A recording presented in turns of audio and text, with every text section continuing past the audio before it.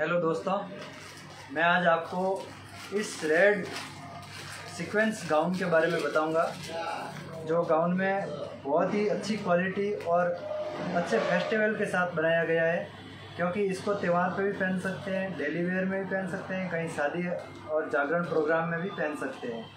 तो आप देखेंगे कि इसकी क्वालिटी क्या है और इसकी बनावट में क्या खासियत है। बॉटम है साथ में, दुपट्टा है साथ में सीक्वेंस लगे हैं, इसकी डिज़ाइन क्या है? हम लोग आपको पूरी तरह से ये बताएँगे। तो प्लीज़ बने रहिए मेरे साथ। मैं आपको ये गाउन बताता हूँ। जैसा कि आप देख सकते हैं, इसका दुपट्टा है, इसका बॉटम इंक्लूड है। ये देखिए।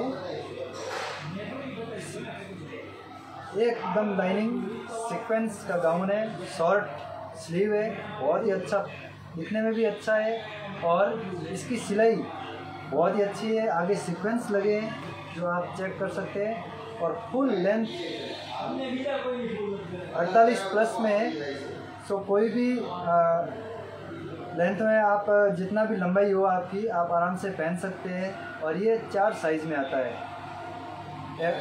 एम एल एक्सएल और डबल एक्सएल तो आप जिस हिसाब से इसको एडजस्ट करना चाहे, इसके अंदर मैं आपको बताना चाहूँगा कि जैसे किसी का हेल्थी शरीर है तो हम इसके अंदर आपको डबल लाइनिंग सिलाई देते हैं, जिससे आप इसको बड़ा छोटा कर सकते हैं और अपने अनुरूप एडजस्ट कर सकते हैं।